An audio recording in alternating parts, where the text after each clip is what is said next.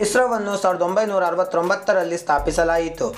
ಇದು ವಿಶ್ವದ ಅತ್ಯಾಧುನಿಕ ಬಾಹ್ಯಾಕಾಶ ಸಂಶೋಧನಾ ಕೇಂದ್ರಗಳಲ್ಲಿ ಒಂದಾಗಿದೆ. ಇಸ್ರೋದಿಂದ ಅನೇಕ ಸಾಧನೆಗಳು ನಡೆದು ಭಾರತವು ಹೆಮ್ಮೆ ಪಡುವಂತೆ ಮಾಡಿದೆ.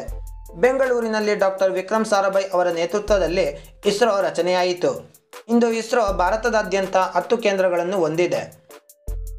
ಹಾಯ್ ಗೆಳೆಯರೇ, ನೀವು ನೋಡುತ್ತಿದ್ದೀರಾ ಇನ್ಫೋಮೈಂಟ್ ಇವತ್ತಿನ ನಮ್ಮ ಕಾನ್ಸೆಪ್ಟ್ ಇಸ್ರೋದಿಂದ ನಡೆದ ಹತ್ತು ಸಾಧನೆಗಳು. ಒಂದು Mars orbiter mission.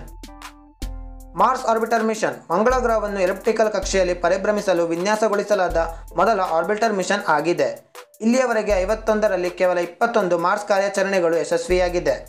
ಇದರಲ್ಲಿ ಭಾರತ ತನ್ನ ಮೊದಲನೇ ಪ್ರಯತ್ನದಲ್ಲಿ ಯಶಸ್ವಿಯಾಗಿ ಇಡೀ ಜಗತ್ತಿನಲ್ಲಿ ಮೊದಲನೇ ಪ್ರಯತ್ನದಲ್ಲಿ ಯಶಸ್ವಿಯಾದ ದೇಶವೆನಿಸಿಕೊಂಡಿದೆ. ಇದನ್ನು ಐದು ನವೆಂಬರ್ ಎರಡು ಸಾವಿರದ ಹದಿಮೂರರಲ್ಲಿ ಪ್ರಾರಂಭಿಸಲಾಯಿತು. ಮತ್ತು ನಾಲ್ನೂರ ಐವತ್ತು ಕೋಟಿ ರುಗಳ ಬಜೆಟ್ನೊಂದಿಗೆ ನಾಸಕ್ಕಿಂತ ಹತ್ತು ಪಟ್ಟು ಕಡಿಮೆ ವೆಚ್ಚದಲ್ಲಿ ಯಶಸ್ವಿಗೊಳಿಸಿದೆ. ಎರಡು, ಸ್ಪೇಸ್ ಶಟಲ್. ಇದು ಭಾರತದ ಮೊದಲ ಬಾಹ್ಯಾಕಾಶ ನೌಕೆಯಾಗಿದೆ. ಕಡಿಮೆ ಬಜೆಟ್ ಬಾಹ್ಯಾಕಾಶ ನೌಕೆಯಾಗಿದ್ದು ಮರುಬಳಕೆ ಮಾಡಬಹುದಾದ ಉಡಾವಣಾ ವಾಹನವಿದೆ. ಇದರ ವೆಚ್ಚ ಕೇವಲ ತೊಂಬತ್ತೈದು ಕೋಟಿ ರು. ಇದು ಪರೀಕ್ಷೆ ನೌಕೆಯಾಗಿದ್ದು ಇದನ್ನು ಇಸ್ರೋ ಯಶಸ್ವಿಯಾಗಿ ಪ್ರಾರಂಭಿಸಿತು. ಮೂರು ನೂರ ನಾಲ್ಕು ಉಪಗ್ರಹಗಳು.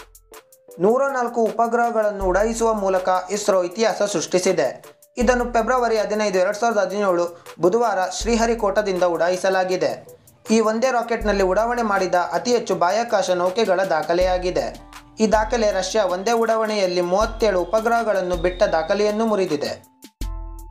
ನಾಲ್ಕು G S L V geo synchronise satellite launch vehicle ಎಂದರೆ ಜಿಎಸ್ಎಲ್ವಿ. ಭಾರವಾದ ರಾಕೆಟ್ ಅನ್ನು ಇಸ್ರೋ ಎರಡ್ ಸಾವಿರದ ಒಂದರಲ್ಲಿ ಯಶಸ್ವಿಯಾಗಿ ಉಡಾವಣೆ ಮಾಡಿತ್ತು. ಇಲ್ಲಿಯವರೆಗೆ ಜಿಎಸ್ಎಲ್ವಿಯ ಹತ್ತು ಉಡಾವಣೆ ನಡೆದಿದೆ. ಐದು S L V three. A P J Abdul Kalam ಅವರ ನೇತೃತ್ವದಲ್ಲಿ ಎಸ್ ಎಲ್ ವಿ ತ್ರೀ ಯೋಜನೆಯು ಮುನ್ನಡೆ ಸಾಧಿಸಿತು. ಇದು ಭಾರತದ ಮೊದಲ ಸ್ಥಳೀಯ ಮತ್ತು ಪ್ರಾಯೋಗಿಕ ಉಡಾವಣಾ ವಾಹನವಾಗಿದೆ. ಇಲ್ಲಿಯವರೆಗೆ ಇಸ್ರೋ ಸೇರಿದಂತೆ ಆರು ಏಜೆನ್ಸಿಗಳು ಮಾತ್ರ ಇದನ್ನು ಮಾಡಿವೆ. ಎಸ್ ಎಲ್ ವಿಯ ನಾಲ್ಕು ಲಾಂಚರ್ಗಳಲ್ಲಿ ಎರಡು ಮಾತ್ರ ಯಶಸ್ವಿಯಾಗಿದೆ. ಇದು P S L V G S L V ಮತ್ತು ಎ ಎಸ್ ಎಲ್ ವಿಯಂತಹ ಮುಂಗಡ ಉಡಾವಣೆ ಯೋಜನೆಗೆ ಕಾರಣವಾಗುತ್ತದೆ. ಆರು, ಚಂದ್ರಯಾನ. ಚಂದ್ರಯಾನ ಭಾರತವು ಪ್ರಾರಂಭಿಸಿದ ಮೊದಲ ಚಂದ್ರತನಿಕ ವಾಹನವಾಗಿದೆ. ಇದು ಎರಡು ವರ್ಷಗಳ ಕಾಲ ಪರಿಭ್ರಮಿಸುವ ಉದ್ದೇಶಿಸಿದ್ದರೂ ಅದು ಕೇವಲ ಮುನ್ನೂರ ಹನ್ನೆರಡು ದಿನಗಳವರೆಗೆ ಮಾತ್ರ ಕಾರ್ಯನಿರ್ವಹಿಸಿತು. ಆದರೂ ಇದು ಯೋಜಿತವಾದ ತೊಂಬತ್ತೈದು ಪರ್ಸೆಂಟ್ ಉದ್ದೇಶವನ್ನು ಪೂರ್ಣಗೊಳಿಸಿತು. ಈ ಮಿಷನ್ ಮುಖ್ಯವಾಗಿ ಇಸ್ರೋಗೆ ಬಾಹ್ಯಾಕಾಶ ಕಾರ್ಯಕ್ರಮಗಳಿಗೆ ಉತ್ತೇಜನ ನೀಡಿತ್ತು. ಏಳು ಸ್ಯಾಟಲೈಟ್ ನ್ಯಾವಿಗೇಷನ್ ಸಿಸ್ಟಮ್ ಸಾಗರ ವಾಹನ ಟ್ರ್ಯಾಕಿಂಗ್ ಇತ್ಯಾದಿಗಳಲ್ಲಿ ಸಂಚಾರಣೆಗಾಗಿ ಇಸ್ರೋ ಭಾರತದ ಸ್ವಂತ ಜಿಪಿಎಸ್ ವ್ಯವಸ್ಥೆ ರಚಿಸಿದೆ. ಇದು ಏಪ್ರಿಲ್ ಇಪ್ಪತ್ತೆಂಟು ಎರಡು ಸಾವಿರದ ಹದಿನಾರರಂದು ಎರಡು ರೀತಿಯ ಸೇವೆಯನ್ನು ಒದಗಿಸಲು ಪ್ರಾರಂಭಿಸಿತು. ಒಂದು ತೆರೆದ ಮೂಲ, ಇನ್ನೊಂದು ನಿರ್ಬಂಧಿತ ಮತ್ತು ಎನ್ಕ್ರಿಪ್ಟೆಡ್ ಮಾಡಲಾದ ಮೂಲವಾಗಿದೆ. ಎಂಟು ಬಲೂನ್ ಪ್ರಯೋಗ.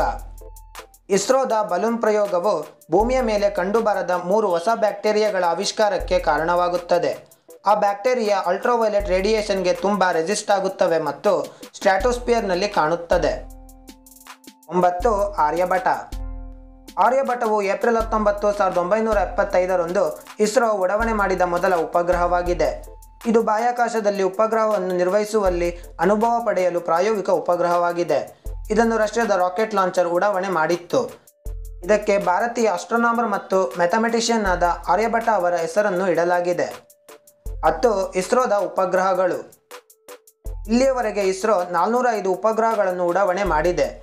ಇದರಲ್ಲಿ ನೂರ ಎಪ್ಪತ್ತೊಂಬತ್ತು ವಿದೇಶಿ ಉಪಗ್ರಹಗಳಾಗಿದ್ದು ಇನ್ನೂರ ಇಪ್ಪತ್ತಾರು ಭಾರತೀಯ ಉಪಗ್ರಹಗಳಾಗಿದೆ. ಇಸ್ರೋ ಈ ಎಲ್ಲವನ್ನು ಸಾಧ್ಯವಾಗಿಸಿದೆ ಮತ್ತು ಭಾರತವನ್ನು ಹೆಮ್ಮೆ ಪಡುವಂತೆ ಮಾಡಿದೆ.